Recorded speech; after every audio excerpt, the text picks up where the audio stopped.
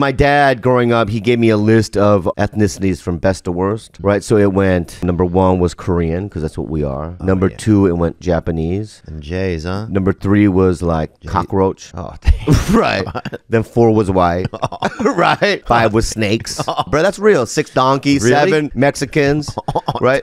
But he made a list of 100. Black people weren't even on the list. Really? yeah, they weren't even on the list. My list is blacks number one, Yes. bro. So Allen Iverson, Right, Allen Iverson number one. Nas X, Nas X number two. So my dad comes from a generation of Korean dudes. and they had beef with black people. Well, their number one beef ultimately though was with Japanese, and that you know,